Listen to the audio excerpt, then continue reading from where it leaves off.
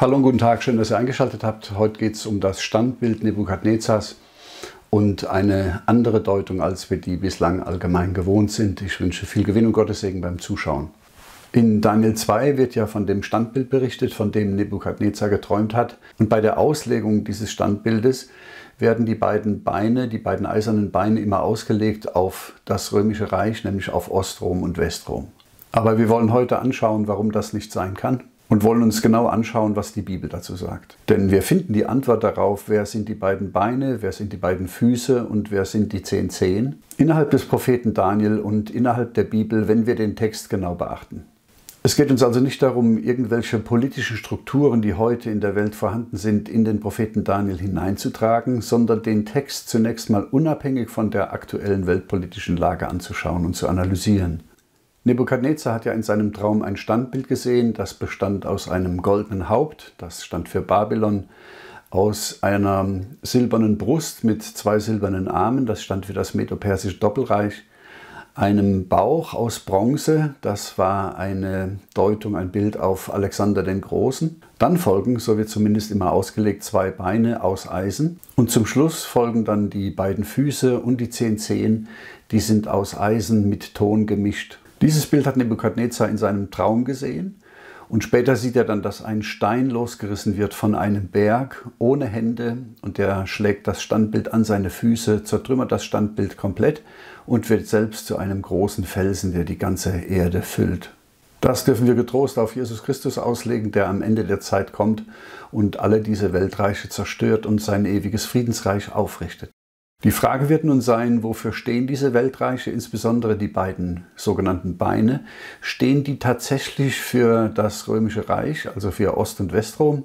Oder steht vielleicht im Text, im Grundtext etwas anderes als Beine, nämlich Schenkel? In den landläufigen Auslegungen geht man davon aus, dass auf Alexander den Großen das römische Reich gefolgt sei und dann glaubt man, dass das ganz gut passt, dass man aus diesen Schenkeln, so wie im Grundtext steht, dann Beine macht, zwei Beine, und die dann auf Ostrom und Westrom deutet. Das Problem bei der ganzen Sache ist aber folgendes. Der geografische Schwerpunkt des Babylonischen Reichs lag im vorderen Orient.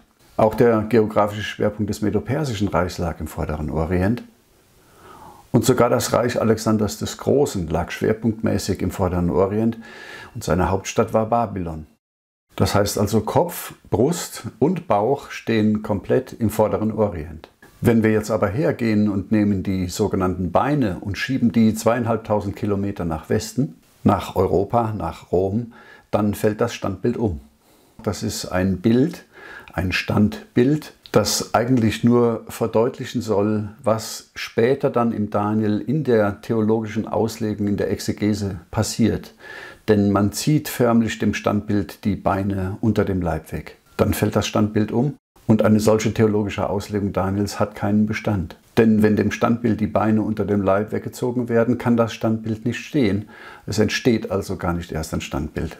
Ich gehe in meiner Auslegung davon aus, dass die beiden Beine, die ja keine Beine sind, sondern Schenkel, auch im vorderen Orient stehen müssen und gedanklich verschiebe ich die beiden sogenannten Beine wieder zurück von Europa, von Rom, zurück in den vorderen Orient, da wo der Schwerpunkt Babylons, Medo-Persiens und auch Griechenlands lag. Dann können aber die beiden Beine nicht mehr Ost- und Westrom sein. Dann können aber auch die zehn Zehen, die immer wieder auf das moderne Europa gedeutet werden, nicht mehr in Europa liegen, sondern müssen ebenfalls im Nahen Osten zu finden sein. Das heißt also, es genügt nicht nur, die beiden sogenannten Beine von Europa wieder zurück zu verschieben in den vorderen Orient, sondern wir müssen insbesondere für die beiden Füße und auch für die zehn Zehen eine Lösung finden, eine politische Lösung, eine politische Struktur, die ebenfalls im vorderen Orient zu finden ist und die auch in der Bibel erwähnt sein muss. Also diese kurze Skizzierung und Zusammenfassung der Auslegung des Standbildes zeigt schon, dass die bisherige Auslegung nicht belastbar ist und irgendwie nicht richtig rund und nicht richtig schlüssig ist.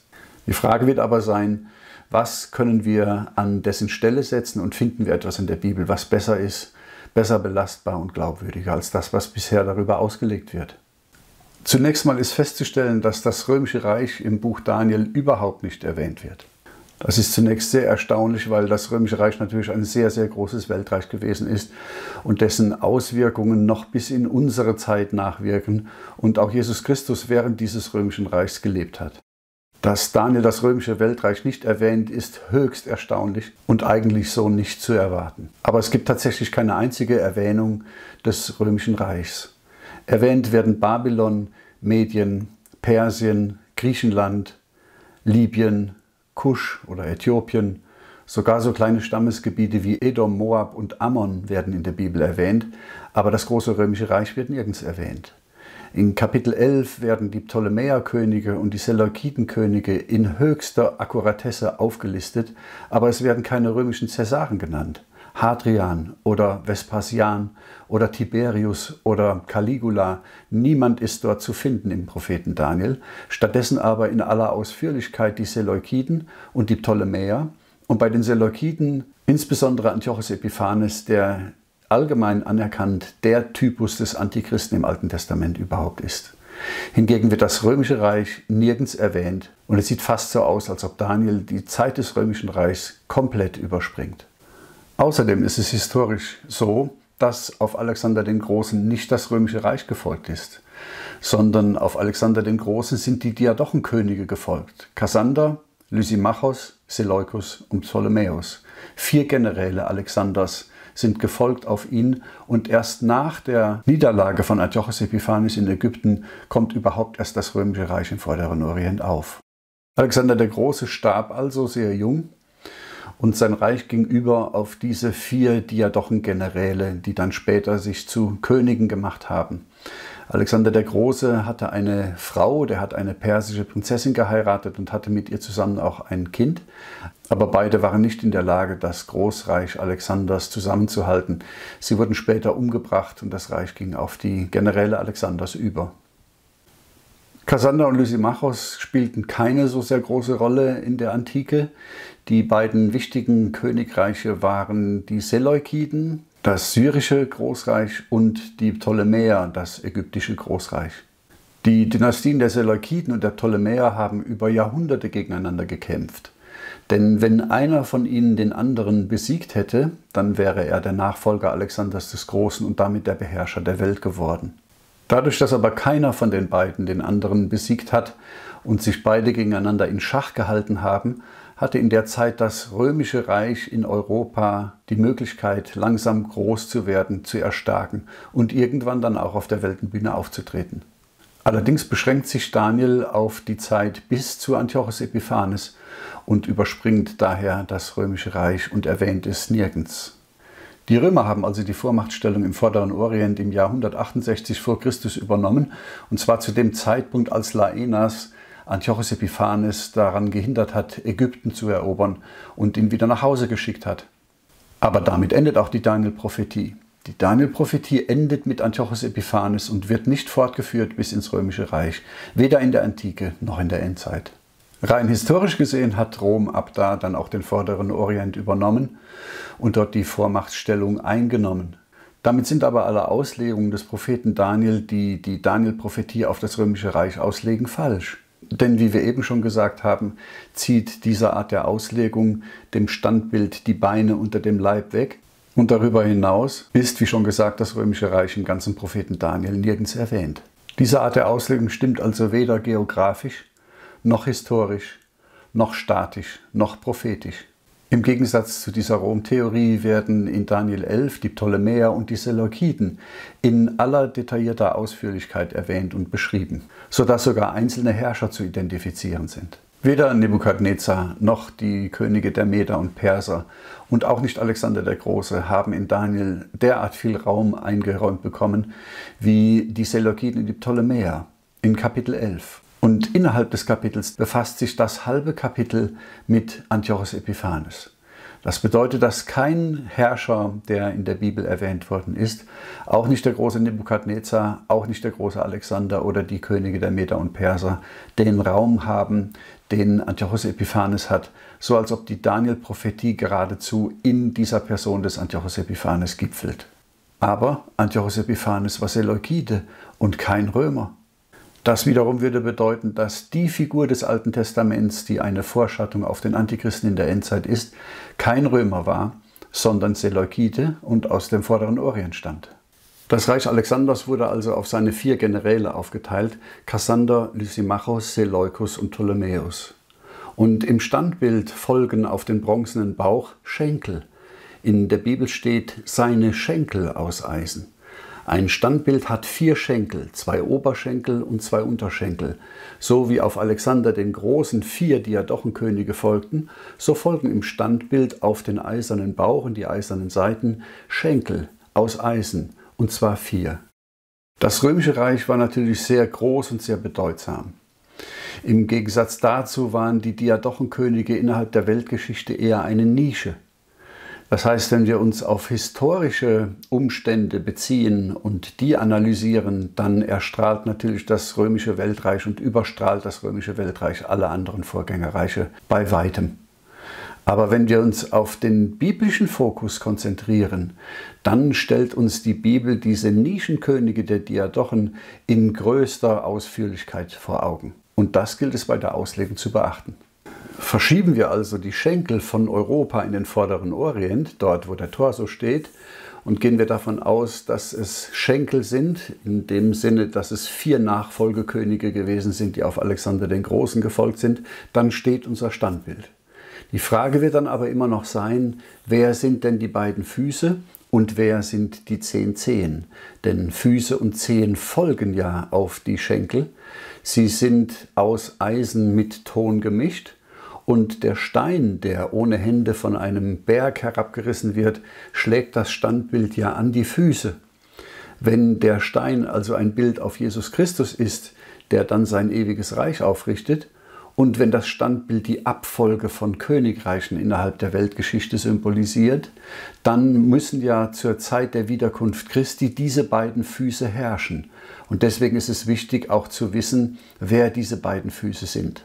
Wenn man die Rom-Theorie weiter vertritt, kann man nicht erklären, wer die beiden Füße sind.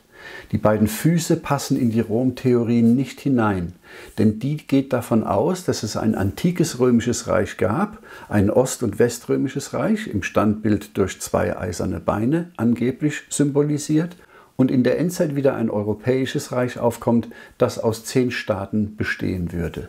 Aber in dieser Art der Auslegung ist nicht klar, wer die beiden Füße sein sollen, und keiner der Ausleger, die ich bisher gehört habe, äußern sich dazu, denn sie alle wissen, dass diese beiden Füße in ihre Art der Auslegung nicht hineinpasst.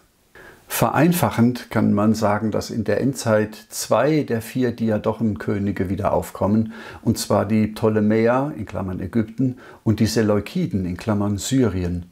Denn die werden in Kapitel 11 in aller Ausführlichkeit beschrieben und die Dynastie wird bei den Seleukiden bis zu Antiochus Epiphanes geführt und dann macht die Bibel einen unmerklichen Sprung auf einen endzeitlichen Herrscher, den Antichristen. Damit würde unsere Deutung so aussehen, dass wir anerkennen, dass die Daniel-Prophetie mit Antiochus Epiphanes geendet hat und in der Endzeit mit einem endzeitlichen Antiochus Epiphanes fortgeführt und abgeschlossen wird. Damit könnten wir erklären, wer die beiden Füße sind, denn die beiden Füße wären das Wiederaufkommen historischer Seleukiden und historischer Ptolemäer in der Endzeit in Form von Syrien und Ägypten. Das wiederum würde bedeuten, dass wir für die Endzeit im Nahen Osten ein neues Seleukidenreich und ein neues Ptolemäerreich erwarten können. Beide werden dann aus Eisen sein, weil ihre antiken Vorgängerreiche das auch waren, und sie werden mit Ton gemischt sein. Die Bibel sagt, sie vermischen sich nach Menschengeblüt. Es muss sich also um Völkerschaften handeln.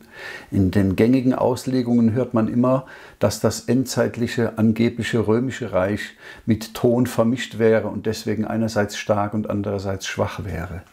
Aber die Bibel sagt hier etwas anderes, dazu später. Die Geschichte wird sich also wiederholen, aber es wird in der Endzeit kein römisches Reich auftreten, weil Rom in Daniel gar nicht erwähnt ist, sondern in der Endzeit werden zwei der Seleukidenreiche wieder auftauchen, wie sie in Daniel 11 beschrieben sind. Die Geschichte wiederholt sich also und Gott knüpft an die Prophetie über Antiochus Epiphanes in der Endzeit wieder an, wenn dann ein endzeitlicher Antiochus Epiphanes, der Antichrist, auftritt.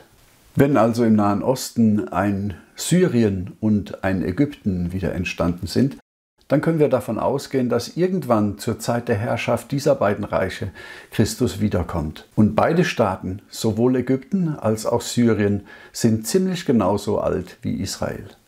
Weil Christus aber noch nicht gekommen ist, und sein Reich noch nicht aufgerichtet hat, denn sein Reich wird ein politisches Reich sein und kein geistliches, denn das Standbild berichtet von der Abfolge politischer Weltreiche und nicht von der Abfolge geistlicher Weltreiche. Weil also Christus noch nicht gekommen ist und sein Weltreich aufgerichtet hat, befindet sich zwischen den Schenkeln und den Füßen ein zeitlicher Sprung, und zwar von Antiochus Epiphanes bis in die Endzeit. Das heißt also, dieser zeitliche Sprung ist mittlerweile fast 2200 Jahre lang und reicht vom antiken Antiochus Epiphanes bis in unsere Zeit bzw. bis in die Endzeit. Damit können wir also einordnen, wer die beiden Füße sind und es bleibt noch eine Frage unbeantwortet, nämlich die, wer sind die zehn Zehen? Die zehn Zehen kennt jeder Bibelleser, denn sie werden in den Evangelien erwähnt. Die zehn Zehen finden wir unter anderem auch in Offenbarung 17 wieder bei einem Tier mit zehn Hörnern. Und jeder Bibelleser kennt eigentlich die zehn Zehen oder die zehn Hörner, denn sie werden dreimal in den Evangelien erwähnt. Nachdem Antiochus Epiphanes von den Römern wieder nach Hause geschickt wurde und seinen Ägyptenfeldzug nicht ausführen konnte, verfiel das Seleukitenreich zusehends und die letzte politische Struktur, die aus dem Seleukitenreich übrig geblieben ist, ist das Gebiet der zehn Städte, die sogenannte Dekapolis. Sie wird in Matthäus 4, in Matthäus 5 und in Markus 7 erwähnt. Sie war eine Art nahöstlicher NATO, in der zehn Stadtstaaten sich miteinander verbunden hatten, um sich im Fall von militärischen Angriffen gegenseitig zu unterstützen. Irgendwann im ersten, zweiten Jahrhundert nach Christus ist die Dekapolis dann aufgelöst worden und verliert sich im Nebel der Geschichte. Aber wir können sagen, dass alle Dekapolis-Städte seleukidischen Ursprungs sind, damit von den Diadochen abstammen, und zwar genauso wie die Zehen an den Füßen und die Füße an den Schenkeln andocken und die Schenkel in Verbindung mit dem Bauch stehen, nämlich mit Alexander dem Großen. So haben wir hier also eine Linie, die von Alexander dem Großen über seine Diadochen zu den Seleukiden und über das ausgehende Seleukidenreich bis zur Dekapolis führt. Und damit sehen wir, dass die zehn Zehn kein modernes Europa sind, sondern ebenfalls im Nahen Osten liegen, genau dort, wo auch der Torso und die Schenkel und die Füße des Standbildes sind. Zudem werden sie als politische Struktur innerhalb der Bibel dreimal erwähnt. Und damit ist unser Standbild komplett.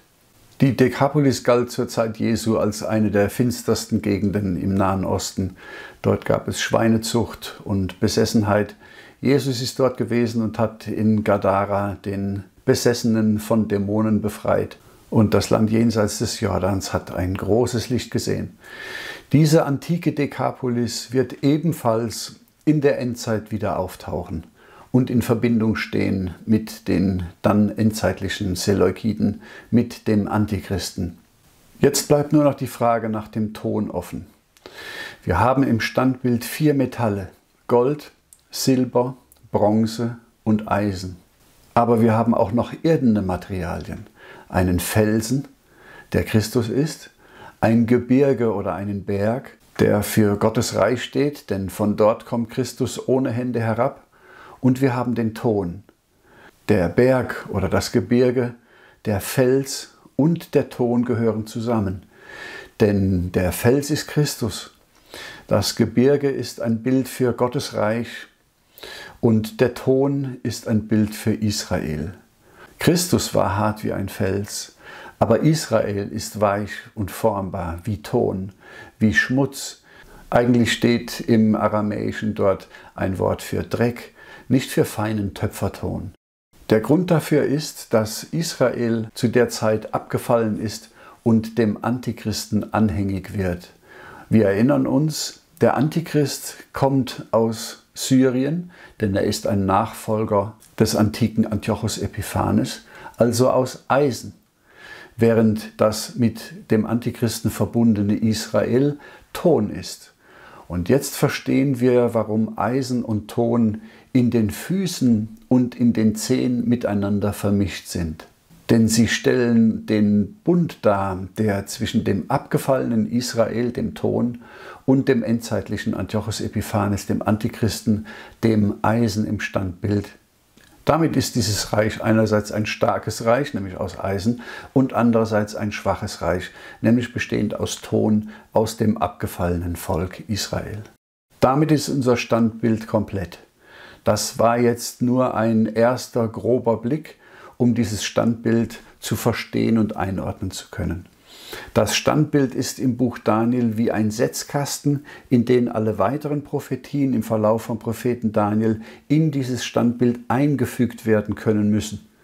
Das Standbild gibt uns einen sehr grafischen und plastischen Überblick über die komplette Daniel-Prophetie und zwar vom Kopf bis zu den Zehen. Wir sehen also hier, dass die Rom-Theorie komplett verworfen werden muss, denn das römische Reich ist im Buch Daniel nicht erwähnt.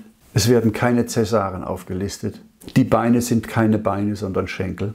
Sie stehen nicht in Europa, sondern im vorderen Orient. Historisch folgte auf Alexander den Großen nicht das römische Reich, sondern die Diadochen. Und die 1010 sind auch kein endzeitliches Europa, das mittlerweile schon 27 Staaten hat und gerade dabei ist, mit Pauken und Trompeten in sich zusammenzustürzen. In der Endzeit wird ein Tier aufkommen, das niemand erwartet hat, das, was schon einmal war nämlich der antike Antiochus Epiphanes, wird ein endzeitliches Pendant haben. Und wir haben keine römische Linie in der Daniel-Prophetie, sondern eine alexandrinisch, diadochisch, seleukitisch, dekapolische Linie. Die ganze Linie, die uns dort gezeigt wird, ist griechischen Ursprungs und führt zu dem zurück, bei dem Gott seine Prophetie in Daniel unterbrochen hatte, zu Antiochus Epiphanes, der in der Endzeit wieder aufkommen wird. Damit ist unser Standbild komplett. Ich danke sehr fürs Einschalten, wünsche alles Gute, Gottes Segen und bis bald.